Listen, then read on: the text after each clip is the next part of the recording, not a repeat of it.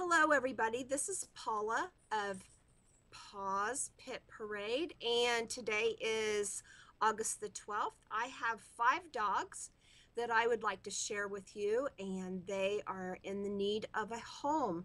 So I will show you a picture and tell you a little bit about them. These dogs are from Angel's Journey Home Rescue. Now, our first dog that we have is Hardy.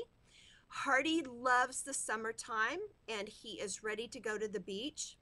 He is two years old. He is a boxer mix. He is full of so much energy and love. He would make a great family dog. He can't get enough of the water and he loves his toys. Now, next up, we have Toffee. Say hello to Toffee. Toffee is a Shepherd Shar Pei lab mix, and he is approximately three years old. He loves his playtime and chasing balls. He is waiting for that loving family to give him his new chance at life and the love that he deserves. Toffee is located in San Bernardino, California area. Now, next up, we have Champ. Champ, he, I'll tell you what, his picture just doesn't do him justice. He is approximately a year old. He is a pity mix, just looking for love and looking for a family that he can play with and someone special to snuggle with. He would be a great addition to your family. Champ loves kids. Now, next up, we have Nala.